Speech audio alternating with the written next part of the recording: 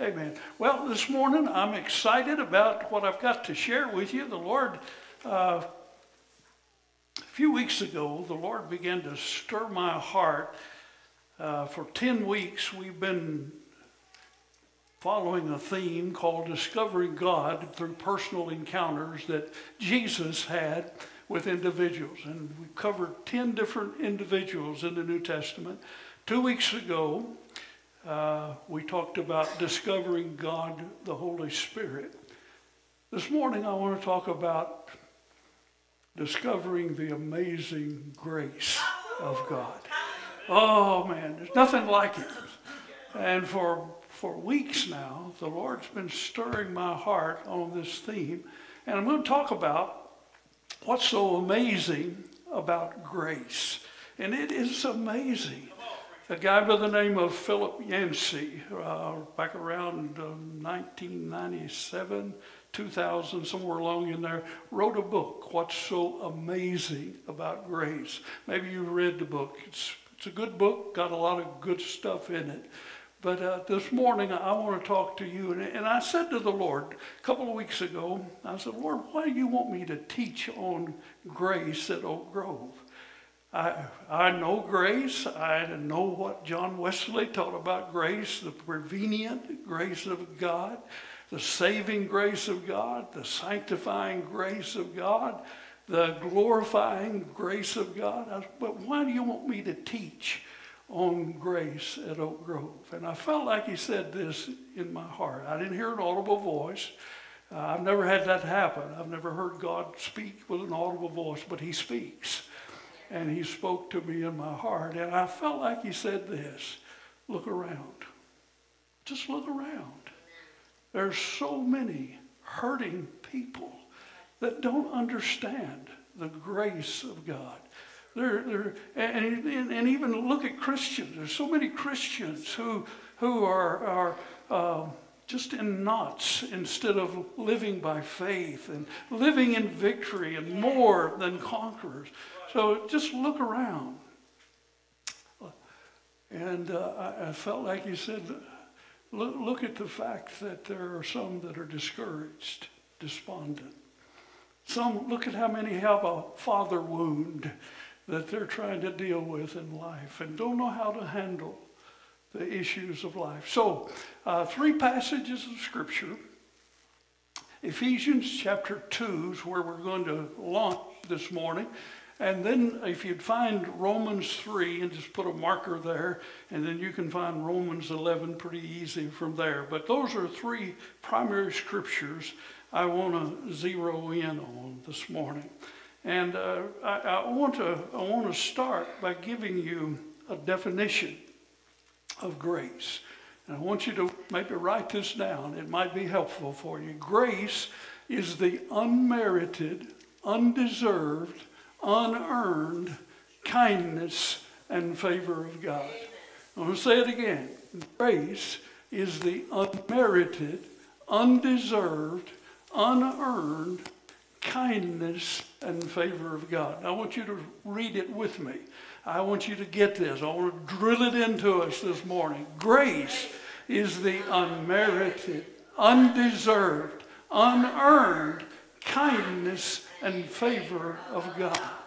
I have a good friend who is a wonderful Christian, but I don't think he understands grace.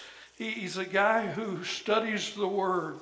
But I remember one guy said to me one time, talking about grace, he said, Grace is like the oars of a boat. He said, We're in the boat and there's a current that's pulling us toward hell, and God's provided these oars. And he said, That's grace. And then he went on to say, if we keep rowing, we'll get to heaven. That's the way he thought about grace. But if you ever quit rowing, he said, you're going to go to hell.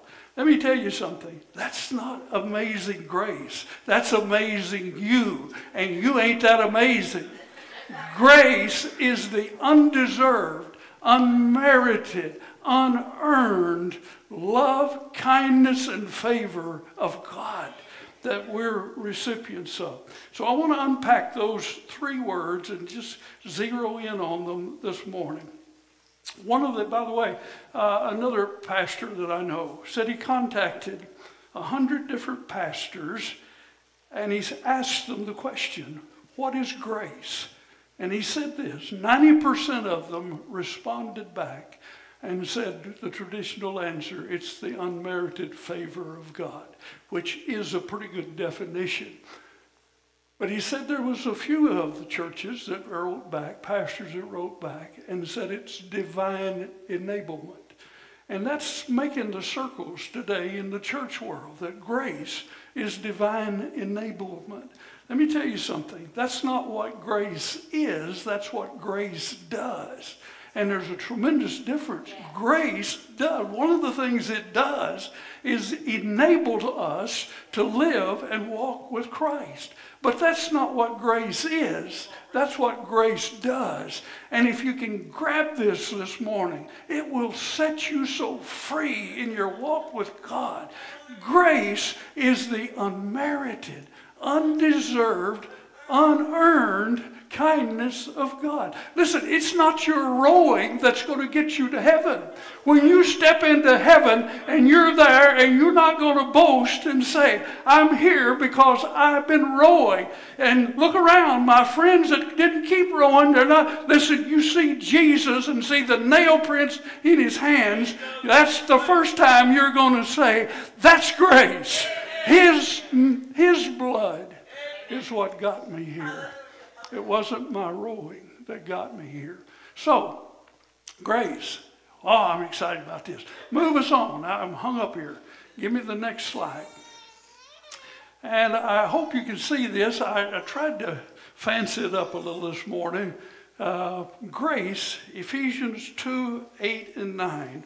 So it's the unmerited kindness and favor of God. Now look at it. He says, For by grace you have been saved. Now, notice the word you have been saved. I'll talk more about that next week. Past tense. You have been saved. There's an ED. You have been justified. You have been forgiven. You have been set free. It's past tense. Write it down. It's undeserved. It's unmerited, but it's done. Jesus said, It's finished. It's finished. And so there is a past tense to my salvation. I don't have to go back every day and wonder, did it happen? I know it happened. October the 31st, 1966, God, for Christ's sake, wiped away every sin, wrote my name in the book of life. It's a deal that's been already cut with God. It's done. It's unmerited. Oh, my. I didn't earn it. I just believed for it and I got it. Oh, isn't that good? Woo! Uh, uh, wow. It, by grace are you saved. Not your rowing. It's by grace that you're saved. Not of works, lest any man should boast. It's the gift of God. It's God's gift. Mm. Oh. Just, just, just feast on that a minute. It's done. The great transaction's done. He is my Lord, and I followed on, but it's done. Whew. By grace, by grace. Now, notice, let me just say it this way Jesus plus nothing Jesus minus nothing equals salvation. It's all Jesus. It's all Jesus. And here's the, here's the thing that's so amazing. When I first got saved, I didn't have any trouble believing that.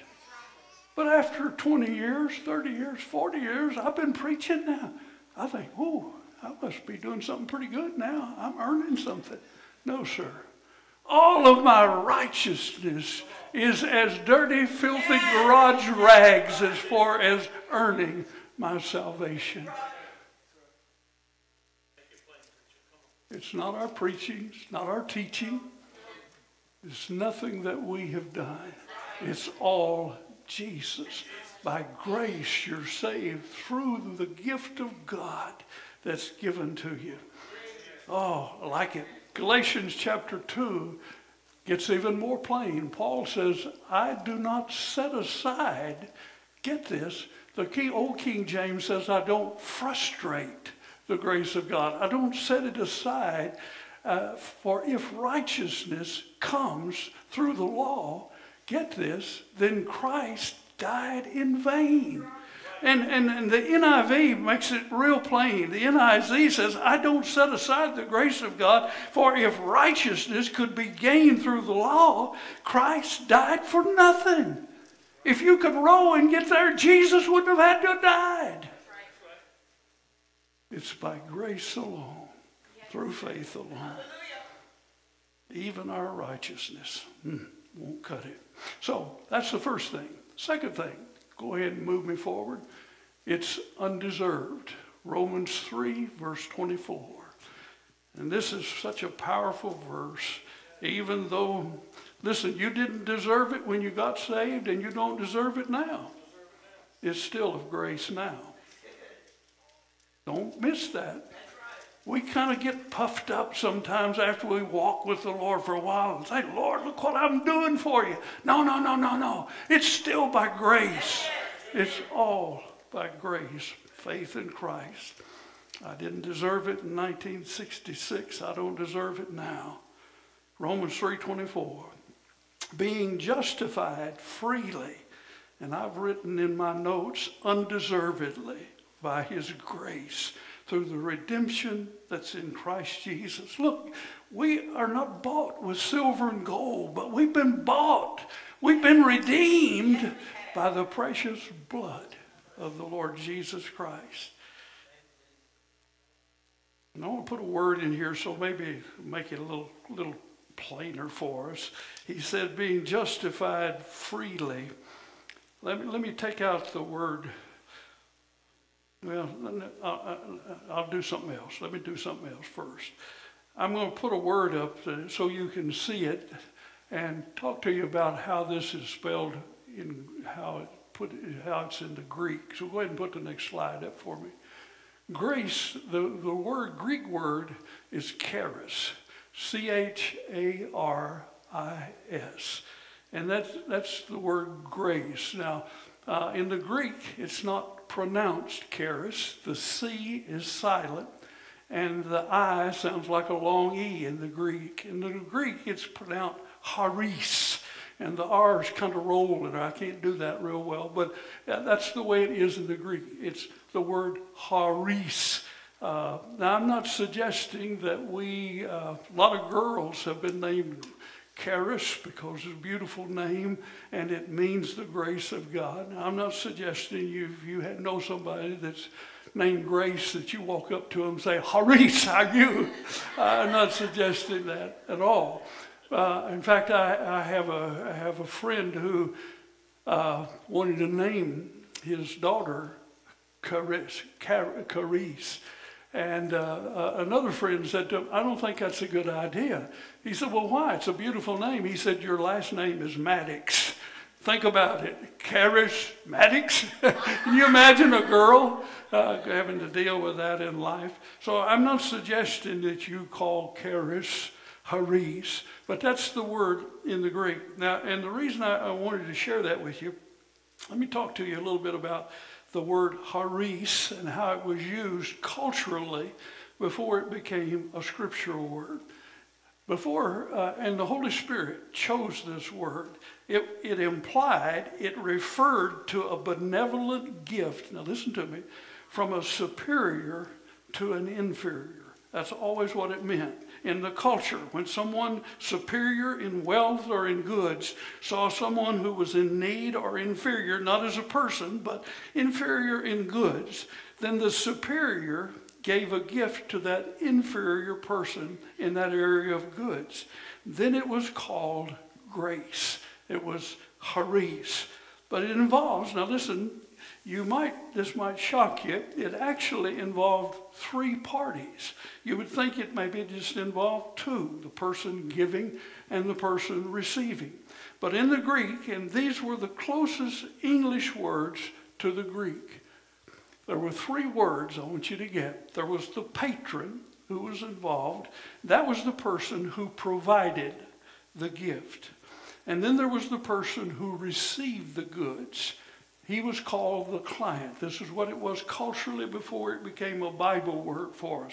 Now, again, I don't think these are words that we need to use when we talk about the gospel, like clients and patrons, like that. I'm not saying that. I'm simply saying that in the culture, uh, these were the meanings of the word in Jesus' day. So the patron, let's put it this way maybe the patron owned a shoe store and he wants to provide some children in an orphanage they're the clients. But who's the third person? In every transaction, there was a third person. This again is the closest word in the Greek. He was called the broker. The broker would go out into the community and see the needs of an inferior and bring the inferior and the superior together. Here's something else. The broker actually would pay for the merchandise. If it was 20 pair of shoes, he paid for the shoes. The patron provided it, the clients received it, but the broker paid for it. Does that sound familiar? The broker is Jesus.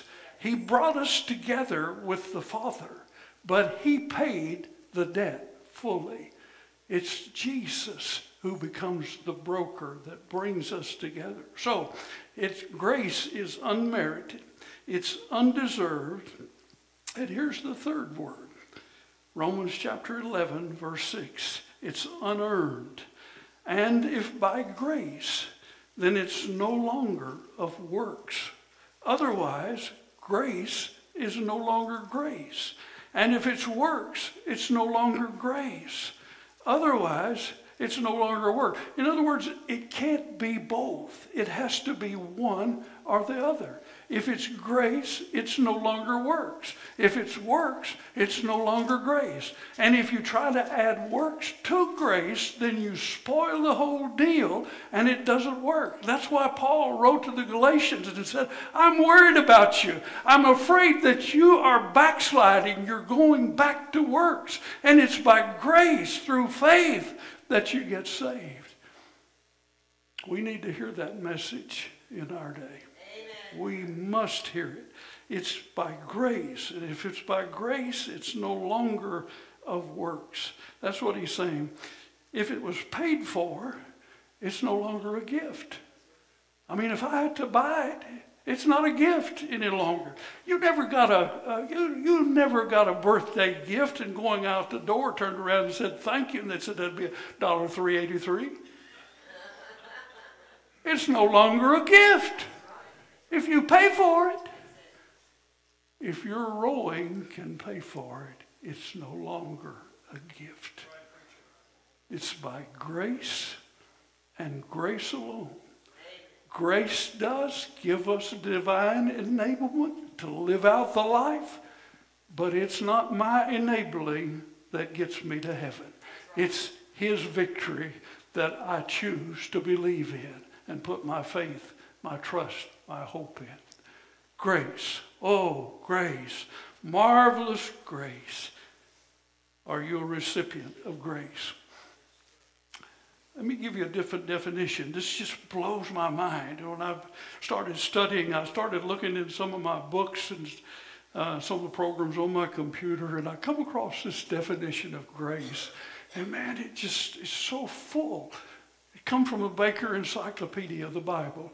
Grace, get this, is the dimension of divine activity that enables God, can you think about that? Something enabling God. Grace is the dimension of divine activity that enables God to be just and be a justifier of the unjust. All of that's packaged in that.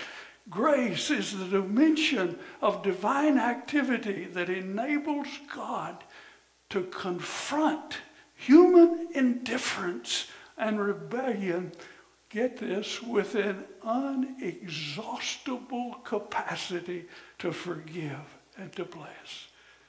It's inexhaustible. Listen, the, the Bible says, give me the next, John 1:16, for of his fullness we all have received. Get this, and grace, picture grace upon grace upon grace upon grace. It's unlimited. It ain't going to run out. It's unlimited. I think about that. I think about the missionary was in our church one time in Michigan named John Kunkel. John had come home from a mission field. He, he and his family were with World Gospel Mission back in those days. And they had been on a, a, mission assignment. I can't remember where the country was, but water was scarce in the place where the mission compound was. And, uh, you know, it was so precious. They had to haul their water. Drinking water had to be prepared well. And so John was just so, so worked up about water when he came to Michigan. And his little boy was just enamored with the bathroom. He'd never seen anything like this. quite a few years ago. But his boy had never seen you go and turn a faucet on and the water, whoosh, and he flush a commode, flush a commode, flush a commode. And John just was getting so worked up. He said, Boy, quit wasting that water. You can't do that. And the owner of the house said, John, listen to me. All of Lake Michigan is behind that faucet. Leave that boy alone. He's not going to run it dry. All of heaven is behind the grace of God. It's grace upon grace. And we can come to the throne of grace and find grace and mercy to help us in the time of need because of the grace of God. Oh, ooh, ooh, ooh. Well, give me the next slide. All of the epistles, and I'm going to just run through these quickly all of the 13 epistles of the Apostle Paul, letters, that's what the word epistle means, begin and end with grace. And I saw this this week. All 13 of the books that Paul wrote. Let me go through. Romans 1 5. Through him we've received grace. Romans 16, the grace of our Lord Jesus Christ be with you all. Next slide, just roll them for me. 1 Corinthians 1 3, grace to you and peace from God and the Father of our Lord Jesus. 1 Corinthians 16, the, wait a minute, back up. The grace of the, I'm not that fast. The grace of the Lord Jesus be with you. Second letter, grace to you. The grace of the Lord Jesus Christ and love of God, communion of the Holy Spirit be with you all. Go ahead. Galatians 1, he writes to the Galatians and said, I just need to remind you of God's grace. Grace to you. Galatians 6, after he spent all of those wonderful instructions about grace, he said, Now look, the grace of the Lord Jesus is going to be with your spirit. Ephesians 1 2, he says, I greet you in Ephesus with the grace of God. Grace to you. And grace be with you all, those who love our Lord Jesus. Philippians 1, grace to you. Philippians 4, the grace of the Lord Jesus be with you all. Colossians 1, grace to you, and grace be with you. And then he writes to his uh, Thessalonians church, grace to you. The grace of the Lord Jesus be with you. Grace to you. The second letter, the grace of the Lord Jesus Christ be with you. And then he writes to his preacher boy, Timothy, and he said, Timmy, listen, grace, mercy, and peace comes from God the Father through Jesus our Lord. Timothy, grace be with you. Grace, Timothy, mercy, and peace. And in the fourth letter, a fourth chapter, he says again to him, Grace be with you. He writes to Titus and says, Grace, mercy, and peace. Grace be with you all. To Philemon, he writes, verse 3, it says, Grace to you. Verse 25, the grace of the Lord Jesus Christ be with your spirit. From the first to the last, Everything he says is encircled and bookended with grace. I'm surrounded this morning by grace. My faith, my walk with God has been bookended by grace. Oh, hallelujah. Oh, goodness gracious. Oh, It is grace. I'm going to get there, but not by my rowing, because of His grace. I started with grace, I'll finish with grace. Whew. Now, now I want to show you a picture of grace. In just a minute, I'll need you to move that slide for me, but I don't want you to do it just yet. I need to tell you a little bit about these two individuals that you see here. Those are, the fellow's name is Rick Hoyt. That's the boy. The father's name is Dick. Rick was born with umbilical cord around his neck, and the oxygen was cut off from his brain for quite a while. And because of it, he was never able to walk or to talk.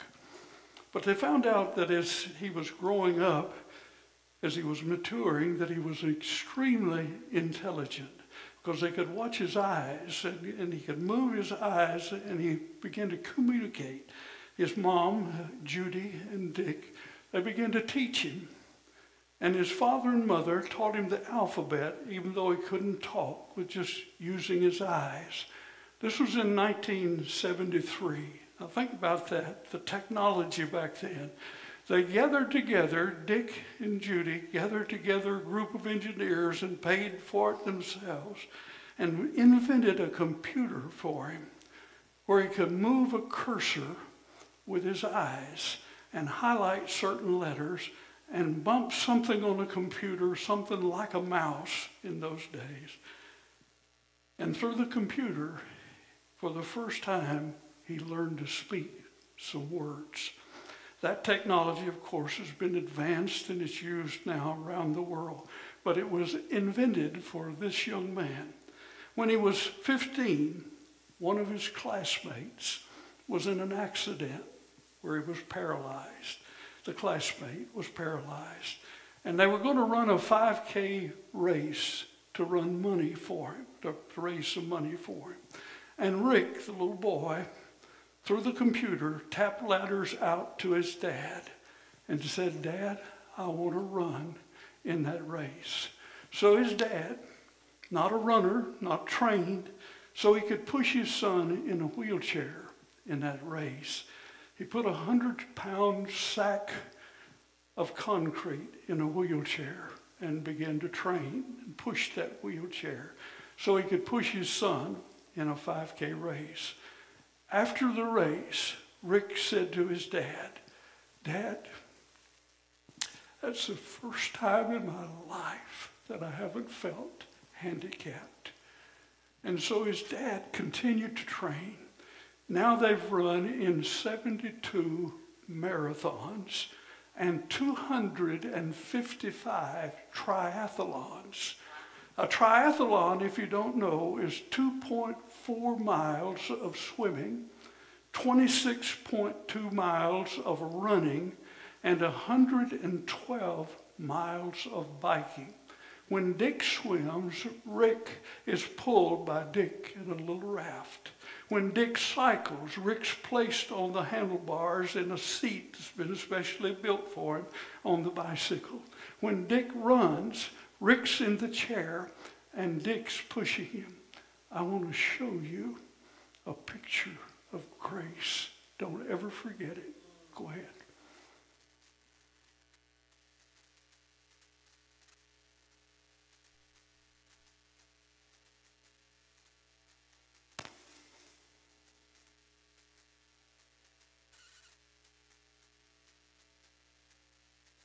Should be some sign.